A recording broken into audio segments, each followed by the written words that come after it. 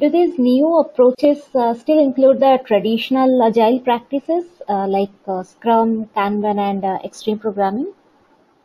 Uh, I think they can. I think what happens is that the uh, these organizations can be much more um, at choice with those things.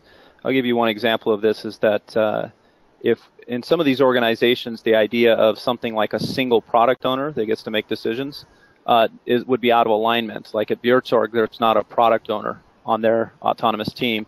At Morningstar, there's no one person that makes the decision. So I think a lot of the practices uh, of Scrum, Kanban, and XP, I think was the third one you mentioned there, uh, are still very valuable because they're derived from a similar set of principles. Uh, but we, I think we see a less constrictive or kind of by the book use of those practices because those teams are going to be experimenting to learn.